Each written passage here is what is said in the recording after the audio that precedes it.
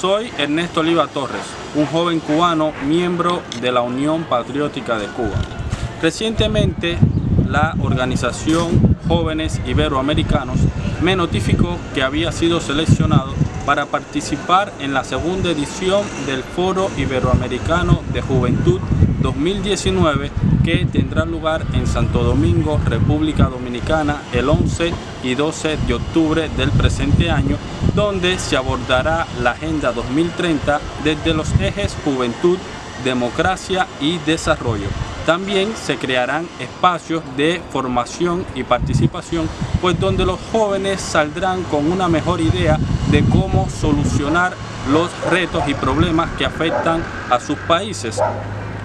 Quiero decir de que en vista a esto pues me dirigí a la oficina de carnet de identidad y solicité que se me informara si aún sobre mí pesaba una restricción de salida que el gobierno cubano me tiene impuesta desde el año 2017 y me informaron de que sí, aún continúo restringido, no puedo salir del país.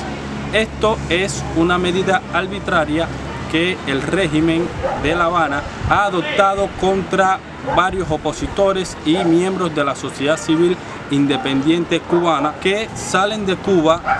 denuncian las violaciones que comete el régimen en los espacios internacionales y vuelven a Cuba a seguir luchando firmemente por la libertad de su país. Quiero decir de que esta no es la primera ocasión en que no puedo asistir a un evento internacional por estas razones de estar restringido. Quiero decir que es la quinta ocasión que me sucede y quiero enviarle un mensaje a los jóvenes que van a participar en este evento que estas medidas lo que me dan es motivo para seguir luchando por la libertad de mi país. Nunca voy a cansarme hasta lograr ese objetivo y por ende contribuir a la libertad y la prosperidad, el respeto de los derechos humanos en la región iberoamericana.